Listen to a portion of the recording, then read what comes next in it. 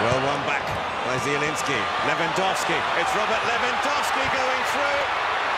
And the referee is going to come across to have a look at the pitch side monitor. Penalty. Lewandowski, Poland's all-time record goal scorer.